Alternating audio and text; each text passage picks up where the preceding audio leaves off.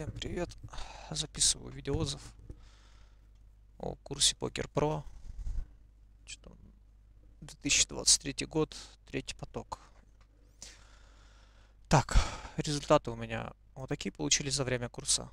Тут немножко диспа пошалила, но в целом потом все вроде как подравнялось. Так, по порядочку.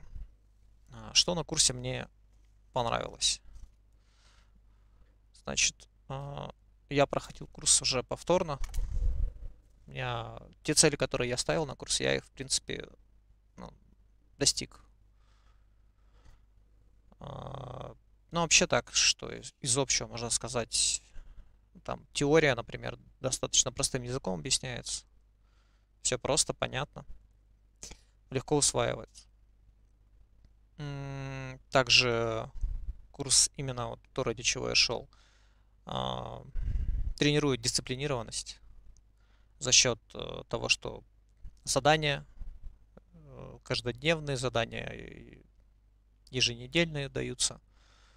В этом плане э, это очень хорошо для тех, кто именно хочет работать над собой, и развиваться и становиться лучше, прокачивать себя. Но не хватает, например, дисциплины, либо какой-то там дополнительный, так сказать, пинка какого-то надо, чтобы придавал кто-то. Поэтому курс с этим отлично справляется. А, также для тех, кто, допустим, хочет все равно работать, но у него по времени запара, ну, в этом плане курс дает какую-то гибкость, там, там легкая версия курса или тяжелая версия курса. То есть все достаточно, но здесь идут навстречу. Лично я проходил тяжелую версию. Ну и в целом заданиями со всеми я справился. Там есть некоторые вопросы по поводу того, что можно было бы как-то более равномерно, что ли, задания распределить, потому что, ну, четвертая неделя слишком она это прям супер загруженная получается. А вот идеально, наверное, вариант с третьей неделей. Прям вот очень хорошо все совпало. Так, а, что еще отлично на курсе? Это поддержка. Вот в плане от кураторов, от тренера. То есть тебе отвечают на все вопросы, помогают разобраться. То есть не просто ответили, чтобы там куда-то там тебя отправили, направили, и дальше что хочешь с этим, то и делай. Там, как хочешь, так и разбирайся. Нет, тебе все расскажут, покажут, если надо там э, и там а, как говорится, тыкнут пальцем, куда тебе нажать, что тебе там, где галочку поставить. Это есть какие-то, если сложности там с софтом, а, плюс если есть какие-то сложности с э, пониманием стратегии и теоретических вопросов, тоже все помогут, расскажут, э, покажут. В этом плане здесь, ну, прям отлично сработано все. Что еще на курсе вот меня понравилось, это ну, работа в мини-группе. Правда, если вы будете проходить, советую мини-группу сразу то есть э, подбирать исходя из ваших целей, то есть э, что это значит? Если вы хотите именно расти, ну опять же, там нужен напарник, это обязательно условие, чтобы развиваться, я считаю. И поэтому сразу в мини-группе задавайте вопрос, кто вообще зачем пришел. У нас в мини-группе э, сложилось такой сразу настрой, что все пришли за тем, чтобы стать лучше, чтобы развиваться, и, собственно, мы так и работали, хотя, ну, под конец курса некоторые из товарищей чуточку, конечно, подрасслабились, но что поделать, со всеми бывает. Я все-таки курс, ну, отработал на полном. А, что еще хорошо? Это возможность участвовать в тренировках практических. То есть э, в том плане, что можно выкладывать свои раздачи, задавать вопросы, задавать тему которых э, есть желание э, там, проработать. А, здесь ну, тренера идут навстречу. И прям, ну, можно очень здорово себя прокачать в каких-то темах, которые прям особо интересны.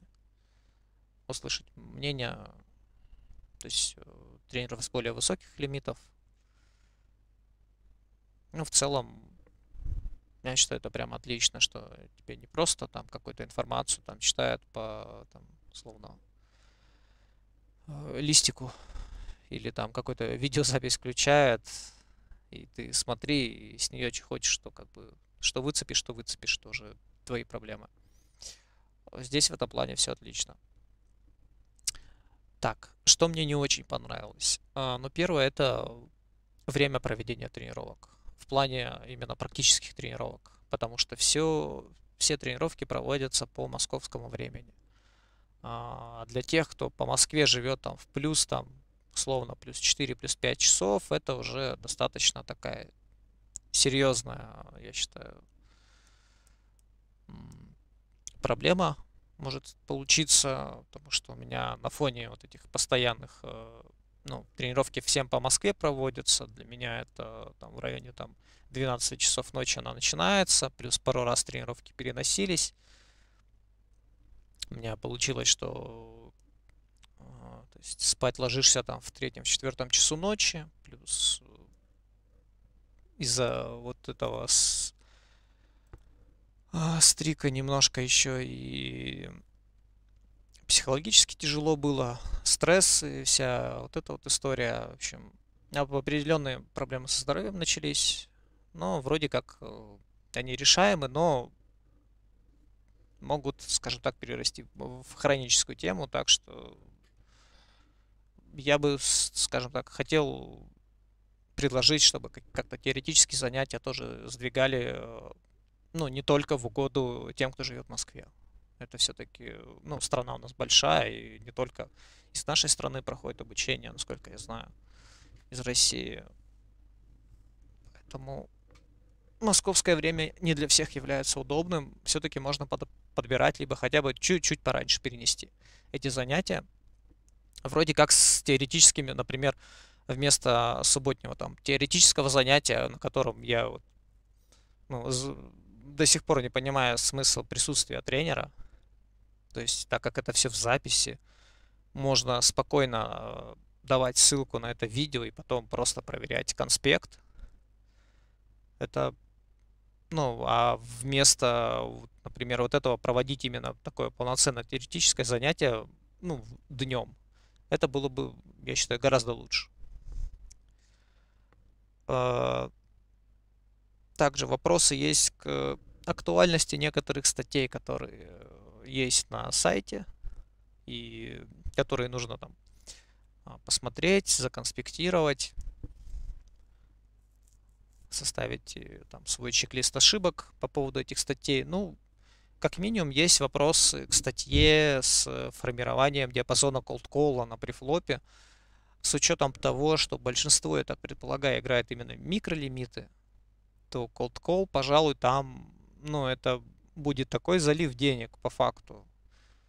Думаю, я бы, ну, пересмотрел либо, ну, вот эту статью, либо, может, вообще ее исключил из как-то из э, изучения, либо, может, какой-то более поздний раздел закинул, где уже лимиты повыше, чтобы там хотя бы, ну, рейк этот cold call как-то оправдывал.